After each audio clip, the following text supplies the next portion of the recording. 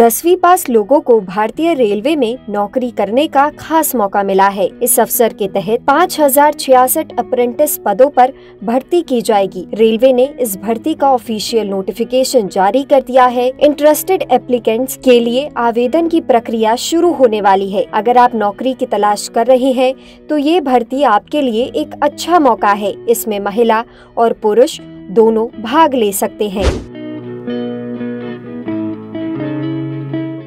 इस भर्ती के लिए आवेदन फॉर्म 23 सितंबर, सोमवार से शुरू होंगे। इसके बाद आवेदन करने की अंतिम तिथि 22 अक्टूबर, मंगलवार है।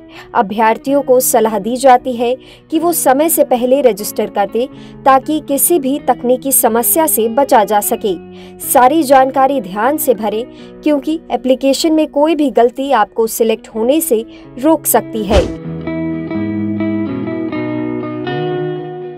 मान्यता प्राप्त बोर्ड से दसवीं क्लास पास होना और संबंधित ट्रेड में आईटीआई किया होना ज़रूरी है। भर्ती के लिए एप्लीकेंट की उम्र 15 साल से 24 साल के बीच होनी चाहिए।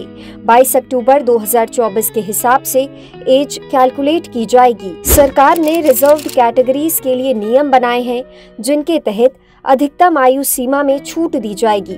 इसका मकसद ये है कि समाज के अलग अलग वर्गों के उम्मीदवारों को बराबर मौका मिल सके। पश्चिम मध्य रेलवे द्वारा दी गई जानकारी के अनुसार, आवेदन शुल्क, जनरल ओबीसी और ई डब्ल्यू एस कैटेगरी के लिए सौ रूपए है और S C S T P W D और महिलाओं के लिए ये रजिस्ट्रेशन एकदम फ्री है। उम्मीदवारों को आवेदन शुल्क के लिए ऑनलाइन पेमेंट करनी होगी। ये आसान तरीका है। हालाँकि ध्यान रखें कि भुगतान करते समय कोई गलती ना हो। अगर आप इस भर्ती में अप्लाई करना चाहते हैं तो इस प्रोसेस को ध्यान में रखें।